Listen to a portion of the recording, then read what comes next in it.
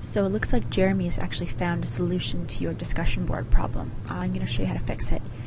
Just enter into your course.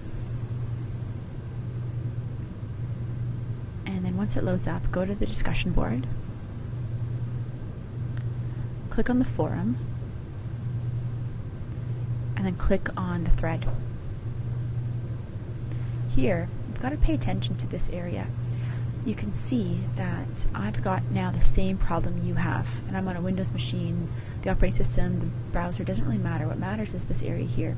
Click on this button that says minimize, and that'll minimize all of the threads into the framed area, which should solve your problem. If I click it again to maximize, then again I've got the same bleeding issue that you had before. So hopefully, when you give that a shot, it'll fix any issues that you have with your discussion board display let me know if there's any trouble.